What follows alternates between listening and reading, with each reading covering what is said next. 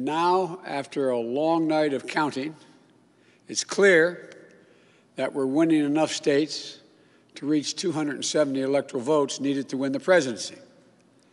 I'm not here to declare that we've won, but I am here to report when the count is finished, we believe we will be the winners. I'm not naive, neither of us are.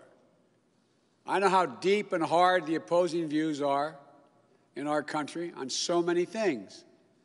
But I also know this as well. To make progress, we have to stop treating our opponents as enemies. We are not enemies.